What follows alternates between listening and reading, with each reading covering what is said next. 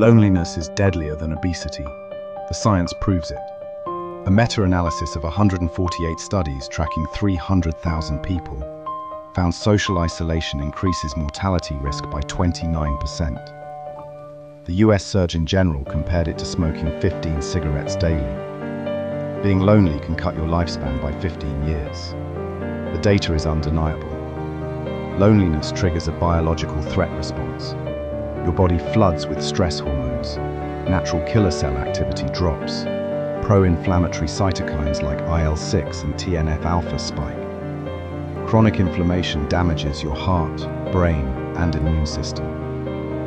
It's not just emotional, it's molecular. Studies show lonely medical students had less natural killer cell activity than connected students. People with strong social bonds produce more NK cells, the same immune cells that hunt cancer and viruses. Connection isn't comfort, it's cellular defense. We evolved in tribes. Modern life gave us screens instead of people.